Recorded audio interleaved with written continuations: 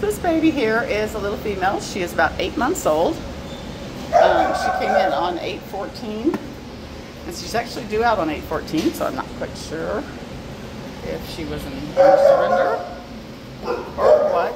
Um, I've seen a couple of dogs that didn't say owner surrender but they were due out the same day they came in. Which is a bit unusual. Um, so she was picked up as a stray but uh, so maybe a mistake. Anyway, I uh,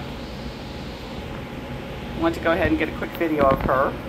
She is located at Animal Care Services in San Antonio, Texas. Hi, Tweety Pies. You're gorgeous.